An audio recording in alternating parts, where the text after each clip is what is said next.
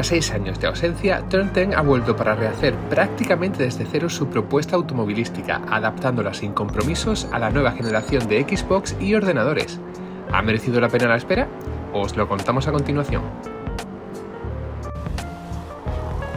Forza Motorsport, que abandona su número con esta octava entrega, es un simulador de conducción que nos lleva a competir por todo el mundo a través de una extensa selección de trazados reales.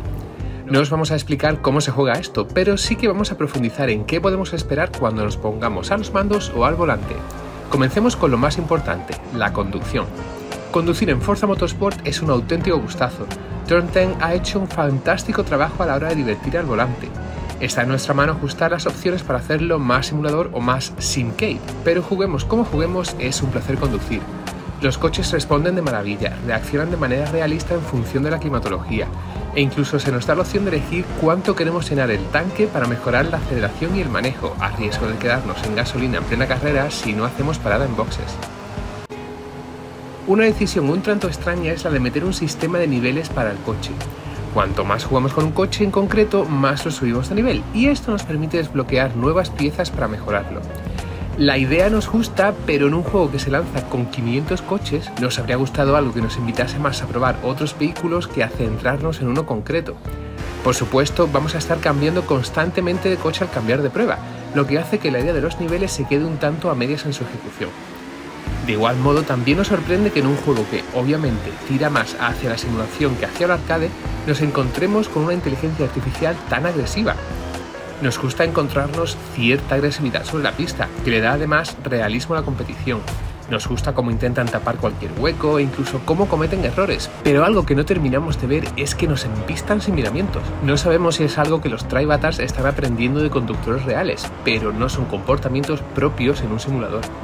Una de las claves en Forza Motorsport es accesibilidad y opciones. Podemos personalizar la experiencia prácticamente al milímetro, recibiendo tanta o tan poca ayuda como queramos de mil y una maneras diferentes. Por ejemplo, podemos personalizar multitud de aspectos de nuestro vehículo de manera individual y manual, o si lo preferimos, pulsar un botón y hacer que este proceso sea automático. Todo está siempre abierto a la personalización y como suele ser habitual en la saga, siempre cuando las opciones afecten a la dificultad, a mayor desafío, mayor recompensa monetaria. Eso sí, donde más nos ha decepcionado Forza Motorsport es en lo que respecta a los modos de juego. Quitando el modo libre y el modo entretenimiento para ver repeticiones y fotos, tenemos el modo principal, que se divide en diferentes bloques de carreras, el modo a través de internet, tanto competitivo como contra otros jugadores en partidas privadas, y un modo desafío en el que competir contra fantasmas. Todos y cada uno de ellos se van a ir actualizando con más contenido, pero ahora mismo nos encontramos con pocas sorpresas. Y sí, sabemos que esto no es Forza Horizon 5, pero nos habría gustado que Tronten intentase al menos sorprender un poco.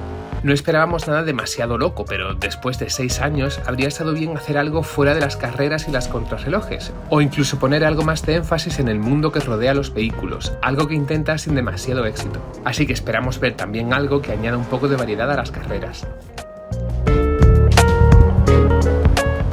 Donde Tronte no ha escatimado es en lo visual, es cierto que de primeras ciertas carreras pueden no impresionar demasiado, pero creemos que la razón es que han intentado centrarse más en el realismo que en lo resultó, algo que a veces genera tonos más apagados y que sorprenden menos.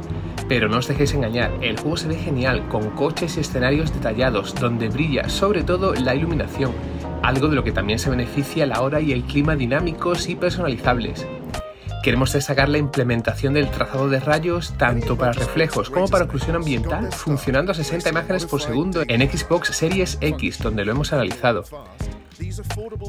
En opciones tenemos tres modos visuales, rendimiento a 60 imágenes por segundo y a 4K sin trazado de rayos, rendimiento con trazado de rayos también a 60 pero con resolución dinámica y el modo calidad, que implementa también el trazado de rayos en edificios, aparte de los coches, funciona a 4K y lógicamente sacrifica el rendimiento a 30 imágenes por segundo. Elijáis el que elijáis, no os vais a equivocar. En lo sonoro, Forza Motorsport tampoco se queda atrás ya no es solo el realismo de los sonidos sobre el asfalto, sino cómo nos envuelve. Jugando con un sistema de sonido 5.1 ha sido una experiencia fantástica.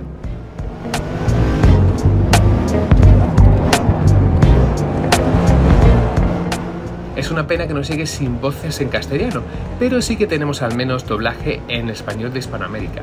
Y los textos, como siempre en español, con las pifias habituales de la saga.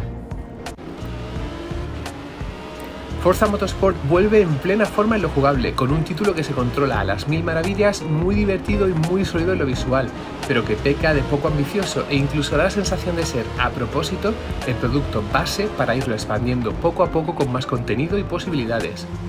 No es ningún secreto que Thornton tiene preparadas un montón de novedades que irán llegando en los próximos meses, pero aún así nos habría gustado que, después de 6 años, Forza Motorsport volviese con más fuerza, sorprendiendo y marcando un nuevo punto de referencia para la saga.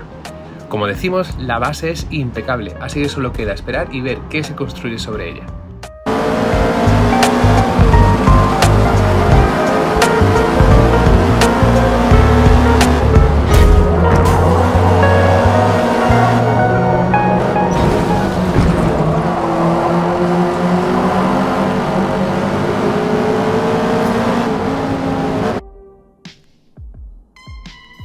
Many of motorsport's greatest names got their start racing modified daily drivers.